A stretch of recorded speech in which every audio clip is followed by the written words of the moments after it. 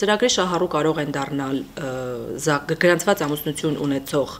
ամուսինները, որոնցից առնվազն մեկը ունի Հայաստանի Հանրապետության քաղաքացիություն։ Այստեղ որևէ տարիքային սահմանափակում երեխա ունենալ չունենալու հետ որևէ կապ չկա։ Պարզապես գրանցված ամուսնություն եւ նրանցից մեկը ունենա Հայաստանի Հանրապետության քաղաքացիություն։ Դրանից հետո սկսվում է արդեն հողի հետ կապված հարաբերությունները, այսինքն ընտանիքը պետք է ունենա սեփականության իրավունքով երկու ամուսիններին պատկանող հող կամ կիսակառույց շինություն, նշածս 80 գյուղական բնակավայրերից որևէ մեկում, ընդ որում այստեղ նշանակություն ունի վերջիններիս հաշվառման, փաստացի բնակության հասցեն։ Կարևոր է, որ կառուցվող տունը կամ կիսակառույցը լինի 80 գյուղական բնակավայրերից որևէ մեկում։ Անդրաժեշտ է, որպեսզի այդ հողի կամ կիսակառույցի համար ունենան շինարական աշխատանքներ իրականացնելու թույլտվություն, որը ստանում են համայնքից, եւ իհարկե ունենան նախագիծ եւ նախահաշիվ, եւ այս ամբողջ փաստաթղթերի փաթեթով շահառուները պետք է մոտենան աշխատանքի սոցիալական հարցերի նախարարության միասնական սոցիալական ծառայության հետ համագործակցող բանկ կամ վարկային կազմակերպություն։ Իսկ կան այսպես 嗯。Պատրաստված նախագծեր, որպեսզի գումար չծախսեն քաղաքացիները։ Այո, պետք է նշեմ, որ քաղաքաշինության կոմիտեի պաշտոնական կայքեջում կա կատալոգ տիպային նմուշների նախագծերի եւ մեր գործընկերները հենց այս ծրագրի համար մեր խնդրանքով տեղադրել են նաեւ հենց 16 միլիոն, այսինքն ծրագրի շրջանակում առավելագույն սուբսիդավորման չափին համապատասխան նախագիծ, շատ տարբեր կատալոգներ կան եւ եթե ներկայացված կատալոգներից նմուշների տիպային նմուշներից որևէ մեկը բավարարում է մեր շահառուների պահանջներին, նրանք կարող են անվճար օգտվել այդ տիպային նմուշներից եւ այստեղ արդեն լրացուցիչ ֆինանսական ռեսուրսներ չծախսել։ Առավելագույն գումարի չափը սահմանված է 16 միլիոն, բայց եթե չեմ սխալվում, նաեւ քաղաքացիները եթե հավելյալ գումար ծախսեն, արդեն դրանք կարող են իրենց կողմից ավելացնել, թե ծրագիրը սահմանափակում չի դնում։ Ծրագրով որևէ սահմանափակում չկա կառուցվող տան արժեքի մասով կամ նախահաշվի մասով, պարզապես ծրագրի շրջանակներում պետությունը սուբսիդավորում է առավելագույնը մինչև 16 միլիոն վարկը եւ դրա նկատմամբ հաշվեգրվող մինչև 13% տոկոսագումարը։ Եթե նախահաշիվը ավել է, այստեղ կա մի քանի տարբերակ։ Շահառուները կամ կարող են այդ գումարը ուղակի իրենց ունեցած միջոցներից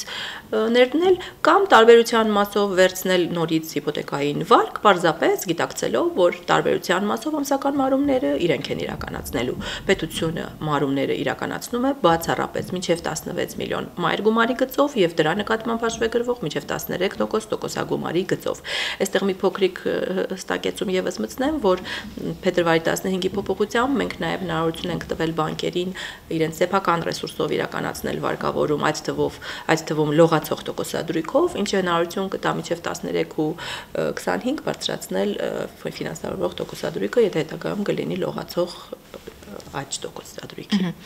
Եվ նաև վարկային պատմությանը անդրադառնանք, դա նույնպես խնդիր է քաղաքացիների համար լինում, խնդրեմ։ Այո, դա եւս շատ կարևոր հարց է, որ մեր շահառուները, երկու ամուսիններն էլ դիմելու պահին չպետք է ունենան ժամկետանց վարկային պարտավորություններ։ Այսինքն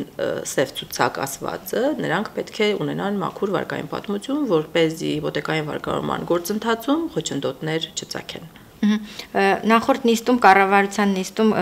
վարչապետը ներկայացրեց Խաչի գյուղում ստեղծված իրավիճակը, որտեղ վարկային այս գործարքներիով պայմանավորված բազմաթիվ քաղաքացիներ չէին կարողանում օգտվել այս ծրագրից իրոք այնտեղ այդպես պահանջարկը կար, հետաքրքրված էին։ Այո, անցյալ տարի ամռանը ես անձամբ եղել եմ Եղեգնաձորում եւ հանդիպել եմ այդ գյուղի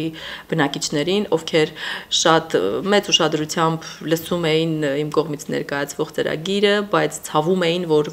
գյուղում որևէ մեկը չի կարող օգտվել ծրագրից, քանի որ ինչպես տեղյակ ենք, կար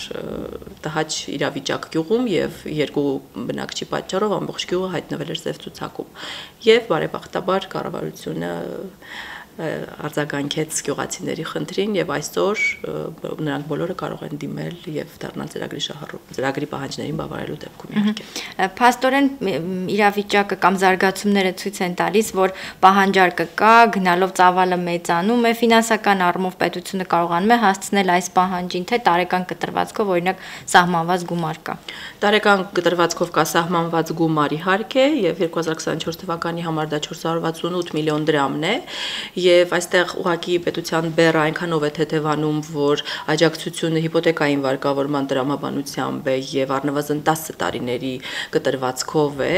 այդ իսկ պատճառով ամսական տարեկան կտրվածքով ֆինանսական բեռը այդքան էլ հսկայական չէ, ինչքան որ կլիներ մի հանրավակ 16 միլիոն դրամ տրամադրելու դեպքում։ Նաեւ այստեղ ավելի սկզբնական շրջանում ֆինանսական բեռը թեթև է, քանի որ վարկերը տրամադրվում են փուլերով, այսինքն ծրագրի կարևոր պահանջներից է, որ առնվազն երկու փուլով պետք է տրամադրվի վարկը եւ յուրաքանչյուր հաջորդ փուլի տրամադրման համար հիմք է հանդիսանում նախորդ փուլի մոնիտորինգի արձանագրությունը եւ եթե արձանագրվում է, որ առաջին փուլում տրամադրված գումարները նպատակային չեն օգտագործվել, ապա աջակցությունը դադարեցվում է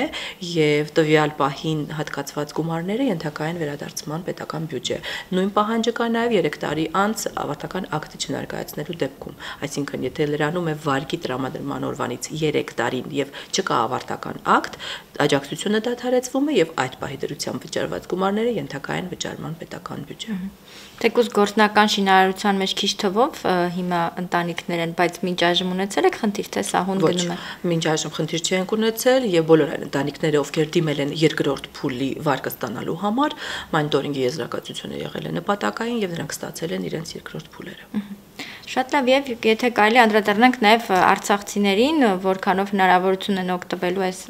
ծրագրից եւ ինչ պայմաններ են պետք իրենց համար։ Տեղահանված ընտանիքները ունեն նույն հավասար պայմանները, ծրագրի կարգը բոլորի համար նույնն է, եթե ունեն գրանցված ամուսնություն եւ նրանցից առնվազն մեկը ունի Հայաստանի Հանրապետության քաղաքացիություն եւ արկա է նրանց սեփականության իրավունքով պատկանող հող կամ կիսակառույց շինություն, նրանք կարող են դիմել եւ վարկավորվել եւ մեծ ուրախությամբ պետք է նշեմ, որ իմ կողմից հնչեցված 535 թվի մեջ 4 ընտանիք, տեղահանված ընտանիք է, որոնք արդեն դիմել են, հայտը հաստատվել է, գտնվում են վարկավորման փուլում, նրանցից 3-ը